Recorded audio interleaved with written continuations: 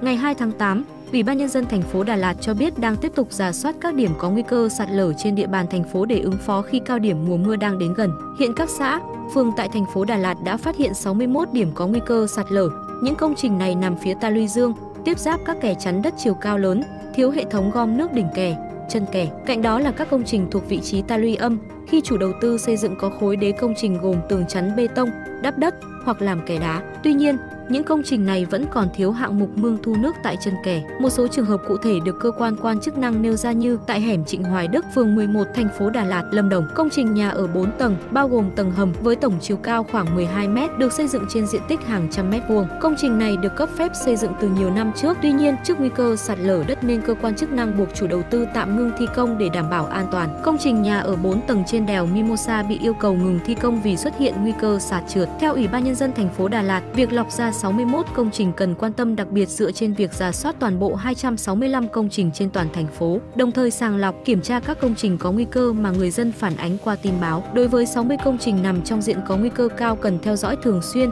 chính quyền thành phố Đà Lạt yêu cầu các xã, phường ghi nhận liên tục các biến đổi của công trình khi có diễn biến thời tiết cực đoan.